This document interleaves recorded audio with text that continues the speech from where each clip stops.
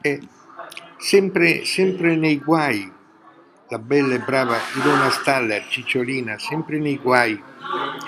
Adesso si trova nei guai a causa del suo figliolo, perché il suo figliolo ora è, è indagato perché la polizia nell'appartamento a Roma sulla via Cassia dove abita il di Ilona Staller Cicciolina ha, ha trovato della droga e, e in questo appartamento sulla via Cassia e oltre al figlio di Ilona Staller abitavano pure abitavano o circolavano pure tre, tre africani e pare che di droga ne sia stata trovata parecchio.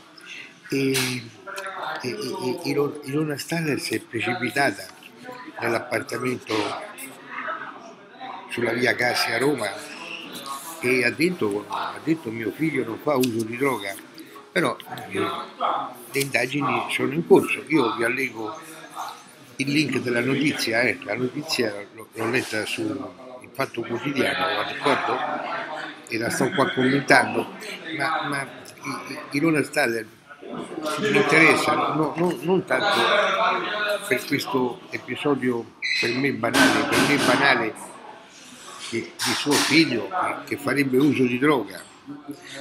ormai c'è mezzo mondo che fa uso di droga, eh, capito? Uso di droga.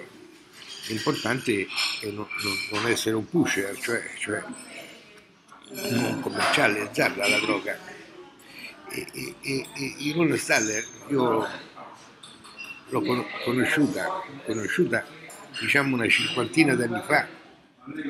E, e, sulle pagine patinate di, di Playman, Playman una, una, un mensile d'avanguardia, era il il mensile patinato di Adelina Tattilo, Tattilo, Tattilo e, e mi ricordo Ilona Staller è stata la, la, la prima pornostar in Italia, all'estero non so chi sia stata la prima pornostar, in Italia Ilona Staller è stata la prima pornostar, io ero giovane, ero giovane, mi piaceva tanto vedere Ilona Staller mezza poi, poi Ilona Staller si è dedicata ai porno video c'erano i giornali dove si vedeva chiaramente che Ilona Staller faceva delle cose molto brutte, mo, molto brutte, molto brutte, br bruttissime, che con termini scientifici si chiamano fellazio, la fellazio, fellazio, fellazio.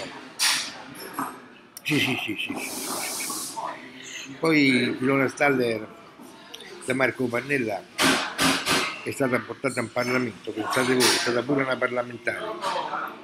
Poi dopo passa un giorno, passa l'altro, e si è ritrovata senza quattrini anche perché ha avuto da tribolare, ha avuto da tribolare col marito, col marito, mi pare il marito sia, stato un, americano, un artista americano, però ha avuto da tribolare, ha avuto da tribolare ed è caduta in miseria, è caduta in miseria, si lamenta in continuazione, si lamenta in continuazione perché io un po' per cui io porto Ilona Stader sempre come esempio per ricordare alle, alle, alle brave belle girl alle brave belle girl che la strada del porno è, è, è una strada che porta nella valle della disperazione. La valle di, della disperazione è caratterizzata dalla miseria più nera per cui chi, chi, chi, prende la strada di fare la, la, la, la pornostar,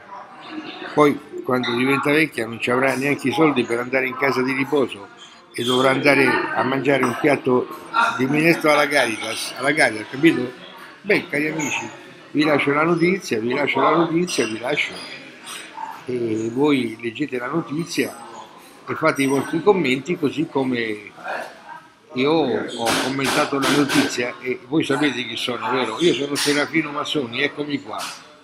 Sono Serafino Massoni, eccomi qua. A tutti tanti cari saluti.